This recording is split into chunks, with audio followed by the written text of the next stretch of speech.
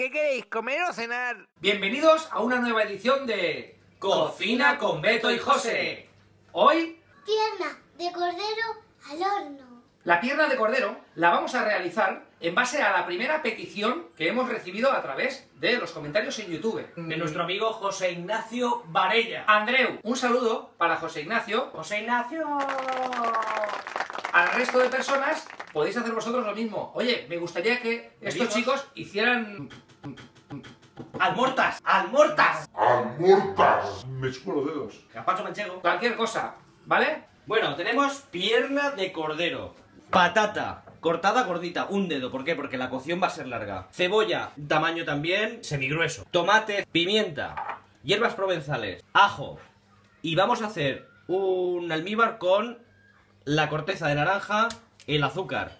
Por otro lado, evidentemente, utilizaremos agua para la cocción, vino, aceite y sal. Y se le ha olvidado al chaval decir que el almíbar también lleva romero. Ahí está. Bien, lo primero que vamos a hacer es untar un poquito la bandeja con aceite. Y ahora una cama con la cebolla y con las patatas que está ahora mismo colando y lavando mi compañero y colega José. ¡Ose! Lo primero que vamos a colocar es la cebolla. Y una vez tenemos la patata lavada y escurrida, Sal. Ay, ay, a la jota, a la jota lo bailan los perros. Se levanta la falda y se le ven los huevos. se embadurna la pierna de cordero con un poco de aceite y sal y pimienta. Hierbas provenzales.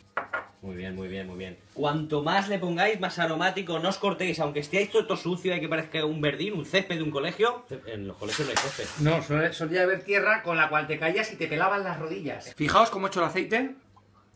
Así se queda lo que son las hierbas y la sal pegadas a la pierna Lo que viene siendo una película o film. por los dos lados. ¿Habéis visto? Ya tenemos nuestra pierna embadurnada. Que bien huele, ¿eh? Colocamos la pierna Horno, lo tenemos a 250 grados precalentado. Vamos a meter la pata y después eh, lo bajaremos a 180, que va a ser nuestra velocidad de crucero. Vamos a meterlo al centro. y cierre. Bajamos a 180 grados. Un cuarto de hora. Bueno, vamos a preparar ahora un almíbar con corteza de naranja y romero para hacer darle un toque valenciano a nuestra pierna de cordero. De la Valenciana. Tirorirora. La misma cantidad de azúcar que de agua y se pone al fuego. Fijaros, agua, azúcar, vamos a sumergir nuestras ramitas de romero y la corteza de naranja. Fijaros. Huele a Valencia. Manopla. Después de tan solo 15 minutos, vamos a Ya seguir con el aderezo. El ajo, vamos a meterlo Por el- con el tomate. En las hendiduras. Fijaros, vamos a dejar detalles por aquí. Fijaos lo que va a hacer Beto. Simplemente un toque aromático con las gotitas esas que caen. Tiqui, tiqui, tiqui, tiqui, tiqui, tiqui, tiqui. ¡Pam! Lo tenemos. El vino blanco. En las zonas del tomate. Poquito. Si quitas los dedos, cae más rápido.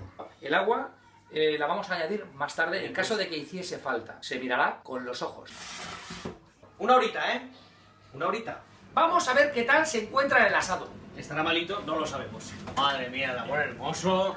Ahora es cuando nosotros tenemos que ver si añadimos o no añadimos agua. En este caso, José, ¿tú qué opinas? Faltan 45 minutos de cocción. Entonces, agua. Aquí aproximadamente. Perfecto, Vamos a perfecto. cerrar. Y 45 minutos. 45 minutos. Es importante, que siempre dice lo mismo, es que es importante en la cocina, muy importante, aparte de lo que dice mi hija, los ojos, mm, tenemos que ver cómo va la cocción. Los ojos importantes. Como, plat como, como platos. Homo de sapiens.